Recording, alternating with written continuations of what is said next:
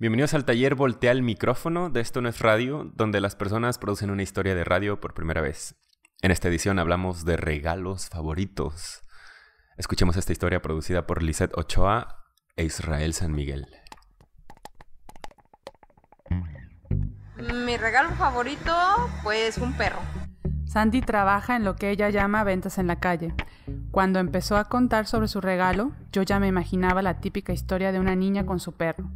Pero esta historia está lejos de ser típica. Para empezar, deben saber que ella es débil visual. Mi problema es catarata congénita. Sandy trabaja en la calle desde hace 12 años. De los 23 años para hoy que tengo 34, eh, me he dedicado a esto de las ventas en la calle.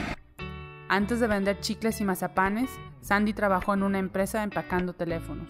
Pues son sueldos muy bajos. Yo estuve 5 años trabajando en una que se llamaba Modus Link Ajá. pero pues tenía un sueldo de 600 pesos por semana, porque entraba a las 7 de la mañana y salía hasta las 5 de la tarde, de lunes a sábado, Pero- entonces sí se me hacía así como que ahí, como que es muy poquito. Sandy es madre soltera. Su hijo Ángel, de 10 años, y su madre dependen económicamente de ella. Pues el hecho de que no vea no quiere decir que no quiera uno experimentar el ser madre, el cómo cuidar un bebé. Nunca es fácil ser madre, y menos cuando tu hijo sufre de la misma enfermedad congénita que tú. Y no solo eso.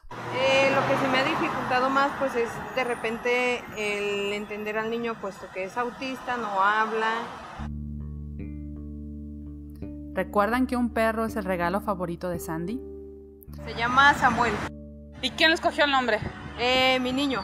Samuel es un San Bernardo que llegó a la vida de Sandy y Ángel hace poco más de un año. Entonces, como no socializa mucho, Ajá. la neuróloga nos recomendó pues algún perro de raza grande que le transmita seguridad, pero que no sea agresivo. Ángel ahora pasa gran parte del día jugando con Samuel. Esto le ha ayudado a comunicarse mejor.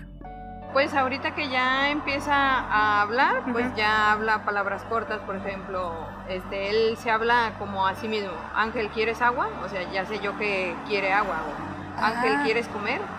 Sí, ¿Ah, sí? siempre, eh, siempre se, se habla así. O Ángel, ¿quieres ir con Samuel? O sea, es que él quiere ir con el perro. Cuando le pregunto a Sandy cuál es su momento favorito del día, ella dice, Pues cuando llego a la escuela en la tarde, que sale brincando y luego luego me abraza y me dice, Ángel, ¿quieres irte a la casa?